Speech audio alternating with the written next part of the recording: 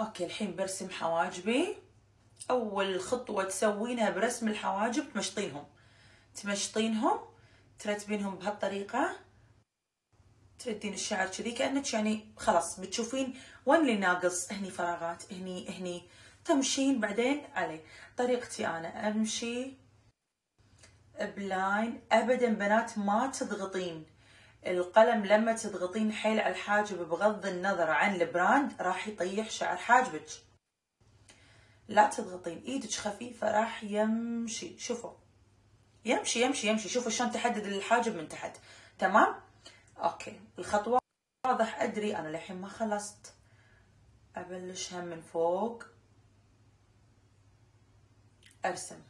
okay. الحين اعبي الفراغات. ايدي خفيفة. أمشي كذي أشخط شوي شوي بالقلم. شوفوا شلون الشكل صار. تمام؟ بعدها امشط لازم. أمشي على كل خط أنا سويته. أدمجه. لأن في بنات يرسمون اوفر تلون تلون داخل بعدين تمشط. لا. شفتوا الخطوط البسيطة أنا اللي سويتها هذه؟ لما أمشط القلم راح يندمج. اللون راح يتوزع أكثر راح يمشي بالمنطقة فأنا ما أحتاج أكثر. عشان يصير غامق أقول لكم تاخذون كونسيلر مسحة يا دوب مسحة لا تذكر. الفرشة ضعيفة تكون دقيقة حيل تمشين كذي. ها بس إذا بالضبطين. يكون نفس لونك بالضبط عشان ما يبين فاتح كذي من فوق مدار الحاجب. تمام؟ بس. الحين كذي أنا رسمت حواجبي خلصت. الحين أنا أبي أثبت. أنا أتعمد بنات ان أنا قبل لا أثبت أخذ وقت برسم حواجبي عشان اللي أنا حاطته على وجهي سواء foundation concealer contour كريمي بلشر كريمي أبي يثبت ياخذ راحته على وجهي. ما يصير أنا أحط الشيء يكون رطب وبسرعة أي أحط البودرة. راح يتكتل راح يتكسر معاي. تمام؟ فكذي خذ راحته على ما أنا أثبت الحين على ما رسمت حواجبي. الحين شنو أسوي؟ الخطوط هذه اللي تكونت لازم هي أدمجها. دم كذي بسيط بمكانها. نفس الشيء تحت العين تمام؟ نفس الشيء إذا عندك هني بخفسة الخشم شوفوا. هني. كذي شوية. إذا عندك هني صوب خطوط الابتسامة لازم تدمجين الخطوط قبل لا تحطين البودرة. ما تين تحطين البودرة وتقولين خطط معاي. إذا حطيتي البودرة والخطوط هذه موجودة كذي انت ثبتيها خلاص ما راح تروح. خربتي الاساس على طول الحين أمد الجلد كأني قاعدة أحط مسكرة بهالطريقة. أوكي عشان أمد الجلد اللي تحت العين وأثبت عدل. أول شيء أبلش فيه تثبيت العين. عشان ما ترجع تخطط مرة ثانية. مو أنا توني دامجة الخطوط. على طول أثبت. أتأكد. okay. اندمجت البودرة كلها. okay أول شيء راح اسويه راح أخذ فرشة حيل دقيقة وناعمة صغيرة كذي. flat راح أي من نهاية العين. لاحظوا إن أنا بس قاعد أطبطب شوفوا. لأن اللون ما شاء الله قوي فراح يطلع. حتى ما له داعي أسحب. أطبطب كذي.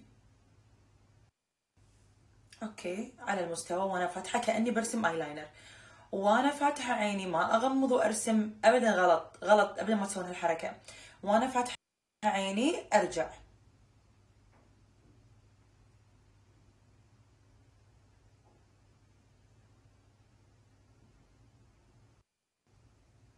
بهالطريقة بعدين أغمض وأكمل. وين line عيني؟ هذه الشفسة. أمشي معها هذا ال line. لما أغمض اللي يبين عندي أمشي معاه بهالطريقة. أكمل معاكم نفس اللون ونفس الفرشة. أنا أول شيء خذيت الشكل اللي أبيه حق العين. هي أعبي من هني وأدخل بهالطريقة. المستوى يكون لي اللي هي شفسة العين هذه هذا ال line مال العين. فكل وحدة تشوف وين ال line هذا وتمشي عليه. ما أعدي حق هذا النوع من الرسمات ما أعدي. بهالطريقة ولاحظوا هني شوية من تحت زاوية العين بس بهالطريقة. أمد شوية لبرا. الحين راح آخذ لون. بني فاتح يعتبر انتقالي. راح أي الطرف الفرشة من هذه المنطقة وادمج ليه برا. لاحظوا بنات أنا الفرشة مو مسويتها كذي. مسويتها كذي. أبي آخذ القصة بهذه الطريقة. تمام؟ أزيد من اللون بهذه المنطقة وأطلع على برا. أدمج.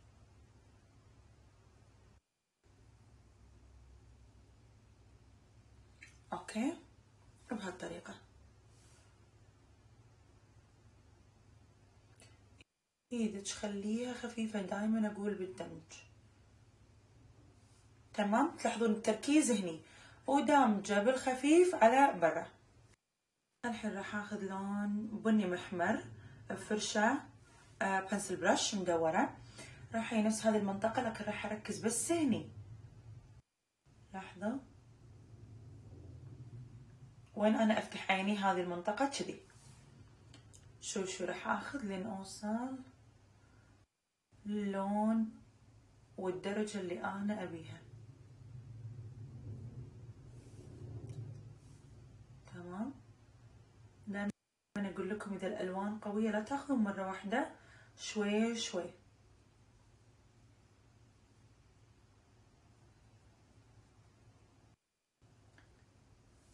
بهالطريقة ملاحظين بنات صار التركيز هني.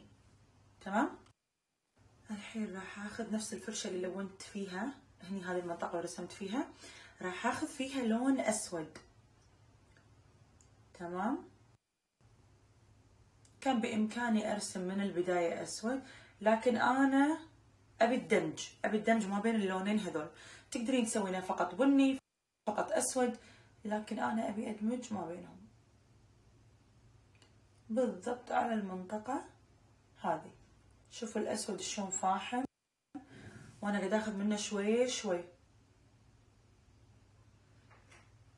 بهالطريقة. بالضبط على المنطقة نفسها. تمام؟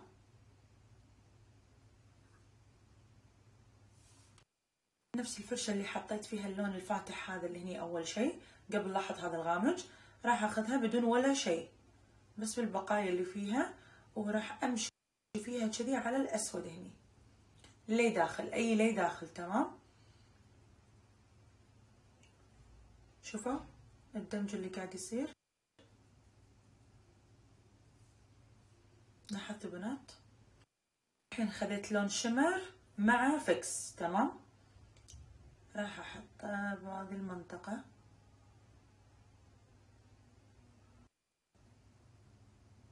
من المدمع من فوق المدمع كذي لداخل بعدين ان أنا ما كملت لداخل بس بسرعة صبعي كذي أدمج. شوفوا يعني أنا أبي أنا أبي التركيز هني.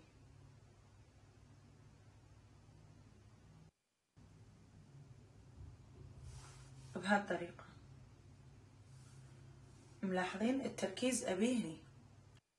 راح آخذ الحين كحل أكحل فيه العين من فوق. شوفوا شلون سواده فاحم تمام ومن داخل. شوفوا السواد.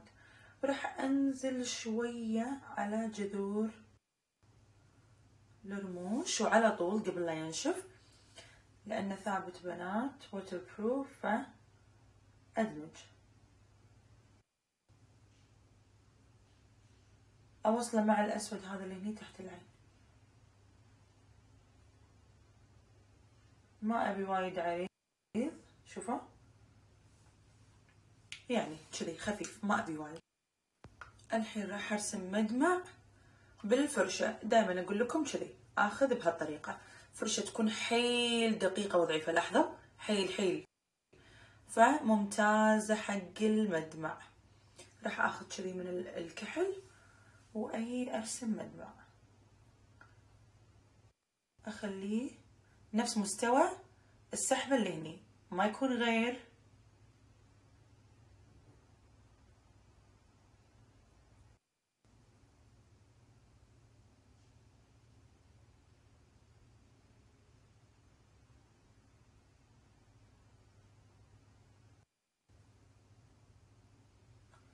تمام.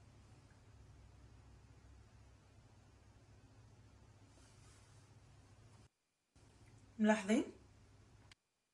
الحين فوق الكحل نفس الفرشة أي فيها شادو أسود نفس اللي استخدمته أثبت. هو الكحل ما راح يتحرك لكن عشان أكون بالسيف سايد دخل داخل عيني إنزين. بس أثبته بالأي شادو الأسود عشان يثبت معي بمنطقة المدمع وما يتحرك. نفس اللون اللي أنا حطيته بهذه المنطقة راح أحطه هني تحت المدمع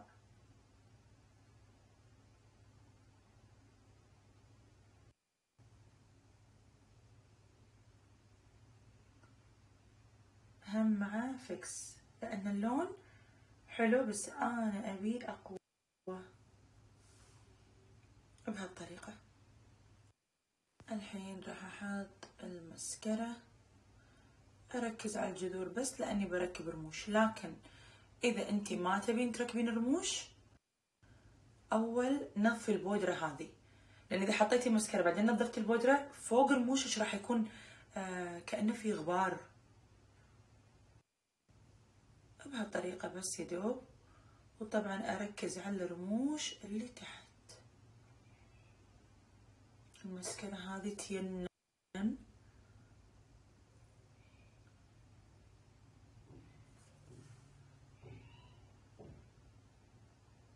تفرق الرموش عدل وتعطي كثافة بهالطريقة الصمغ يكون قرب ينشف.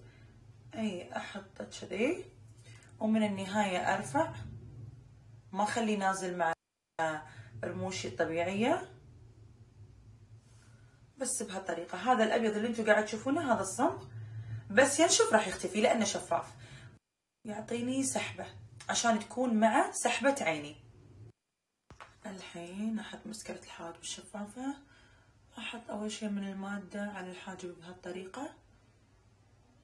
على عرض الحاجب. بعدها أمشط بهالطريقة لفوق.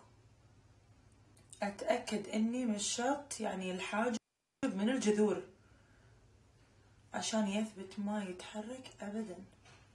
بعدها بهالطريقة أنزل الشعر شوي شوي حسب كل وحدة. يعني شنو حابة. أنا ما أحب وايد كذي لفوق مطشر صراحة. بس أحب التمشيطة اللي يعطيني إياها.